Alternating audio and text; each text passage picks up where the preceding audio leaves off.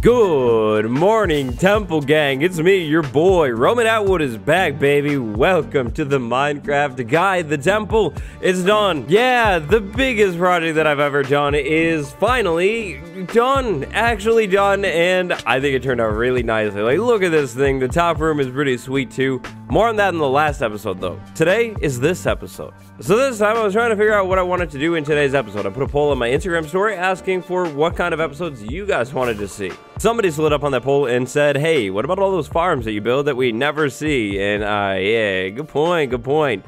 That's a good point. Today's farms. So up to this point in the series, we've built a grand total of 21 farms, I think. I think I've totaled everything up correctly. Some farms have duplicates, two cow crushers, two zombie farms, but somewhere about 21 farms, other than all of the villager farms. Uh, Those things don't count. Today, we're going to switch it up a little bit. Take a look at every single farm that we built in the series up until this point. I'm going to rank them in order worst to best and tell you which farms are actually worth it in survival Minecraft. Two things though, remember it all depends on what you want to do. If you want to just have like a bunch of eggs, then the egg farm is going to be your most important farm. Uh, and also, the second thing, you gotta tap that like button. Hold on a second, how long has that dirt been there? Has that been there like the whole time? Like since I was building this thing? Or is it the Enderman again? Oh boy, the Enderman. Absolute E tier farm. It would be like Z tier if that were a thing. The Nylium farm. The first farm today that we're gonna take a look at is this boy right here. So you walk up to it, you bone meal the netherrack, it turns into Nylium, which is great and all. It's nice to have a source of Nylium here. You never know when you need it, which is basically going to be never. And you can just go to the nether and get a bunch of this stuff. It's nice to have, but definitely the worst farm that I built. It's probably not worth it. Egg farm, egg farm, egg farm. Egg farm is the next farm, but to be clear, this is like miles ahead of the Nylium farm. It's at least useful, but really the only thing I can say about it, I mean, it's efficient. I have like a bunch of chickens inside of the thing, and, and it gives me a bunch of eggs, but I don't use the eggs for anything right now. If I had like an automatic chicken cooker, this would be pretty useful because eggs would be good, but I, I don't. So the eggs are just piled up literally everywhere over here. It's efficient, but for what I do, kind of entirely pointless. I can't even sell these eggs. The next farm is straight across the world, right over here. It's a pretty new farm, uh, but it's a farm that I'm probably not going to use very much. So, the pig farm. The pig farm is great with a villager. Uh, if you're going to sell pork chop to the villager, that's cool, but we have Sweet Berry right here, which is much easier. Also, to be honest, this pig crusher is basically like a worse version of the cow farm because you don't get any leather from it. And come on, they're pigs. Like, leave them alone. Like, they don't deserve it. So, pig farm is the next farm. It's cool and it's good. And if pigs were your only option, it would be pretty good. Pork chops are good food. But eh, compared to cow farm, is nothing. Alright, so this farm is definitely worth building early on. To be clear, like, early game, this is good. This was great when I didn't need very much paper. But now, at this point, when I want to make a bunch of rockets and maybe I want to sell paper to a villager and just in general have a bunch of paper, this is not cutting it. Not at all. This sugarcane farm needs to be upgraded, and that's why it's so low on this list today. It's a good farm, and you would have to build this farm at some point, but late game, don't bother building it like this. Build it way bigger. Maybe flying machine, something like that. It, it just doesn't do the job. But it's cool. Okay, so the sugarcane farm is kind of like the first farm on this list that I would say is moving up to be like kind of worth it. Like at some point you'll have to build a sugarcane farm. This next farm maybe isn't necessarily worth it, but it's definitely useful if you want to use these wood types. Now I'm counting this farm as kind of a like like a two-in-one. It's a warp farm and the nether plant farm because it's just super simple. You have the nether plant farm right here so you can actually use the warped wood farm. Without a nether plant farm, you wouldn't be able to grow the gigantic trees. It's not exactly like the best, most useful wood in the game because of the colors. They're definitely intense and can be tricky to work with, but they are really, really cool. And honestly, I hate to say it, but like the crimson wood, it's easier to use than the warped wood. And the warped wood is my favorite. It's a tragedy. To be honest, on their own, the nether plant farms wouldn't be worth it. I mean, you could bone meal the things, but just not worth it. But paired with this warped farm, gets a little bit better. The wood is really cool. It would be easier, though, to get a lot of this stuff, like on a gigantic scale, by just going into the nether. Tree gang, tree gang. So these aren't much of farms. They're like growing pads, but they are essentially. You, of course, need an area to grow trees in your world. This one really isn't a farm. Like, that's stretching it. It's just an area to grow trees, but I'm going to put it right here after the warped wood farm in this ranking. That's going to be like the 13th best farm. Yeah, trees. They're nice. Next farm, next farm. Oh, ah, I forgot to tell you guys about this. A villager escaped, and I trapped it in here. I can't figure this out. The villager traps here forever. It's a mason villager. It's not our actual mason villager, but you live here in the snow farm. Snow farm, next farm. Snow farm is nice, very easy to use. Grab a shovel, stand next to it, get infinite snow. It's amazing if you use a lot of snow. We've used some snow in some of the builds. I don't know if you can see it from here, but one of the villager houses has snow in it, which is really nice. Snow is a great building block. It's really cool, but quartz is definitely better. Once you have access to like a lot of quartz, the snow farm, unless of course you need to build with snow, isn't very useful. Snow farm will only get you snow. You can only build with snow or throw the snowballs. That's kind of pointless. Okay, hold up. This wandering trader has been like standing right here for like a couple episodes now. Like, like I swear, like since before the temple that we built. Um, how is this thing still alive? Like, like how is it here? Aren't they meant to despawn or something? Like, what are you doing? Go. I don't want your sale. Okay, so this farm is a butte. It's a giant farm. It's a cool farm. The Sweet Berry Monstrosity. This thing over here, the manual one. This is the next farm. Now, to be clear, these farms at this point are pretty good farms. Like the snow farm, I would say it's a pretty good farm. It's pretty much worth it in my opinion. And same with this gigantic sweet berry farm right here. I would say that this farm is is worth it. You get a lot of sweet berries from this thing. You can take the sweet berries over to a villager, sell them. It's very, very easy to set up too. You don't need to necessarily set it up how I set it up. If you're into emeralds and, and they like this and just sweet berries in general, definitely absolutely worth it. This thing is a pure profit machine. And it's gigantic, which is cool.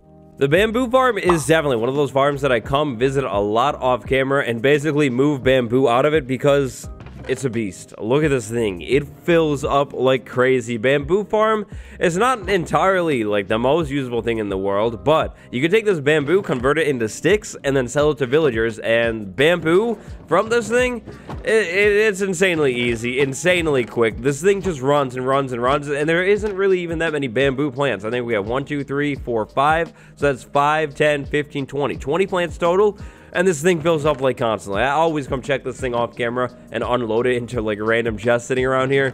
This thing is absurd. The best use for it though, definitely profit. Maybe fuel, but profit for sure. Turn the bamboo into sticks, sell them. If you don't like emeralds, don't build it. You know, I think about it, uh, it kind of goes without saying, but there is an episode for every single one of these things. There's a playlist, uh, Burb. You're over here. Why are you here? There's an episode for every single one of these farms. Um, th there's a playlist. I'll go ahead and leave it on the end card. Maybe pop it up on screen now. But next farm, Honeycomb Farm. Now, uh, this is a personal preference. I'm highly biased here. I like honeycombs. I think they're a useful building block. I think they look really nice. The texture is super clean. And bees. Bees are amazing. They're basically king. Honeycomb farm. Check this thing out. It's been running and running well. And I haven't even filled this thing up with bees. Like, the goal here is to get like a million bees inside of this thing. And I haven't done it. Absolutely not. No way. Not at all. Some of these hives don't even have bees still. Once 1.17 drops, honeycombs get a whole lot more useful because you can use them to wax copper blocks and craft candles. Right now, it's really just honeycombs, so not the most useful thing, but in the future, they're going to get pretty useful. So if you're keeping your world into 1.17, I don't know if I'll be keeping this world to be honest, but honeycomb farm, absolutely worth it eh, for the bees alone. They're adorable, they deserve a good life. So honeycomb farm. And the honeycomb farm is pretty easy to build. It's like an observer, dispenser, a couple pieces of redstone dust. Very, very easy to set up. Next farm, this one right here. We're back over at Berry City, this time the automatic version. Check it out. This thing has been running, not that much actually. I'm pretty sure this farm isn't actually loaded in while we're over at the temple, and it's brand new, but automatic sweet berry farm. If this thing were loaded in more, and I think it will be once we start building more things in the jungle over here, I plan to do that sometime, maybe soon, then it would be running over and over and over again, getting me a ton of sweet berries, which are really easy to use for emerald profit. I have a butcher villager right in there. I need to get a couple more in there to make it faster, but emeralds, the sweet berries, is so simple. The foxes just run and harvest them. It's a really nice, easy farm, but it really comes down to how you want want to play the game. If you want to set this gigantic thing up and harvest it manually, it will take time, but you'll be able to get a whole lot more sweet berries faster. Or if you like to have this thing just run and you'd be patient, and then eventually you'd come back and sell the sweet berries, then this one would be better than the manual one. Okay, so I have to come do some work in front of this farm very soon. This area is getting really old like this, but next farm, pumpkin farm. I honestly always forget that we've built this pumpkin farm. It is so close to like our cathedral and basically the center of our world here, but pumpkin farm. It is so easy to set up and really, really good. At this point, I have an absurd amount of pumpkins. Like, check this out. Like, so many pumpkins, like way more pumpkins than I would ever need. I think what I need to do is get a farmer villager and sell these things or just compost them or something. But pumpkins are a great light source that aren't torches. I mean, nowadays I always just go with lanterns. I kind of spam lanterns everywhere, but jack-o'-lanterns are a really, really nice light source option. You can set a pumpkin down or a patch of pumpkins, and it lights up an area. One jack-o'-lantern in there, of course. And yeah, they're really nice. Speaking of farms that I always forget about, this next farm is actually in the basement of a villager house, which definitely makes it tricky to remember. Now, the ranking of these spawner farms is kind of really up to you. Like, if you have access to a spider spawner and none of the others, then the spider farm is by default, like, the best thing. If you have access to a skeleton farm, easy best, easy, easy. But uh, we don't talk about skeleton farms here. It's a tragedy. So next up is going to be the spider farm. They're pretty good for experience, not the worst thing in the world. There's definitely things out there that are better though. The big one from this farm here is, of course, the spider drops. We're talking string and spider eyes. The string is great for profit. As you can maybe tell here, it's all about profit this time. Emerald's easy right here. String to the villager, simple. It's insanely, insanely easy, which makes the spider farm so nice. Look at that. Nine emeralds right there from doing nothing. A block of emeralds. That's so simple. I always love a good spawner farm too. They're so easy to set up and they just have like nice vibes. Like, I don't know. I, I feel like it's weird, but like, it just reminds me of early game and it's simple and like older Minecraft too, you know, that type of thing. Okay, so I haven't checked this farm in a long time. I'm very curious about it, but the creeper farm, what's going on here?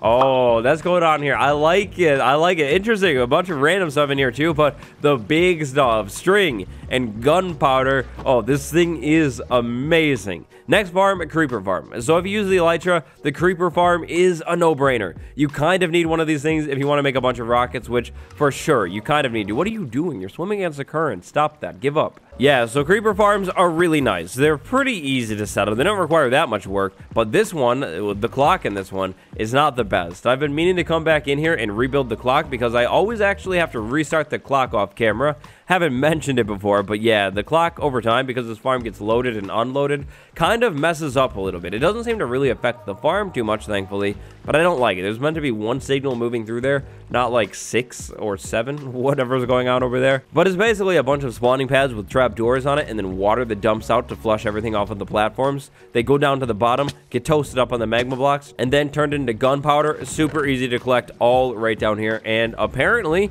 pretty efficient. I think what I'm going to do, actually, is take a break and unload this thing entirely so then we can come back later and check on it. For me, I mean, I, I, like to build every single one of these farms in every world, but the creeper farm is the first, like, absolute must-have because the elytra, the rockets, the, the gunpowder for, like, TNT, now netherite, yeah, it's, like, essential nowadays. So, creeper farm, creeper farm for sure. Next farm, zombie farm. I actually have two of these farms in this world. Zombie spawner experience farm. These things are so simple to set up. We have one over here in the jungle, and then I actually have one over at the flower forest base too, and then paired with like a villager, uh, sell the rotten flesh over here, because on its own, rotten flesh is not very useful, but the experience from this farm, early game, it's amazing. This is a great source of experience before you have something like a gold farm or a blaze farm even. Like, this is a really, really solid farm. Okay, so right now, this farm is the most isolated farm by far. This farm is the Blaze farm. I haven't been here in like a long time, and, and, that's really just because I have better experience farms now, which is the main reason why I use this thing, or used to use it. Of course, though, this farm will supply you with blaze rods too, which I'm actually going to bring some back with me to the base. Blaze rods, amazing, amazing source of fuel because they're so easily renewable. All you need is a blaze spawner and then like a bunch of pistons, which kind of does get expensive. There's sticky pistons too. But in the grand scheme of things, like this thing is not bad. It's like pretty easy to set up and the experience is just so good. It's one of the best experience farms in the game. Maybe the best spawner experience farm in the game for sure, actually.